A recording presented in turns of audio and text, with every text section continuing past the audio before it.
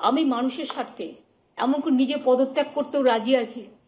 আমার মুখ্যমন্ত্রীর পদ চাই না কিন্তু আমি চাই মানুষ বিচার পাক তিলোত্তমা বিচার পাক আর সাধারণ মানুষ চিকিৎসা পাক।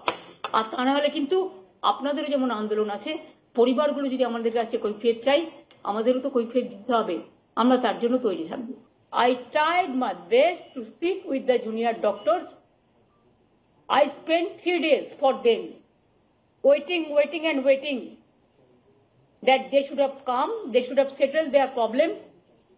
Even when they didn't accept the verdict of the Supreme Court, instead of that also,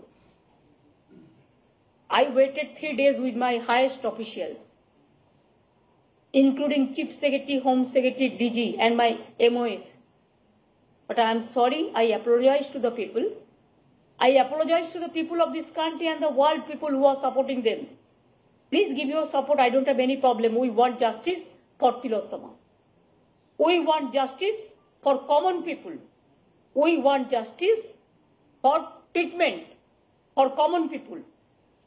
We want that, as per Supreme Court instruction, they must join their duty. Though three days are over after the Supreme Court verdict, Instead of that also we are not taking any disciplinary action. Because sometimes we have to tolerate. It is a duty to tolerate sometimes. If you like this video, then like, share, and subscribe to ET Now.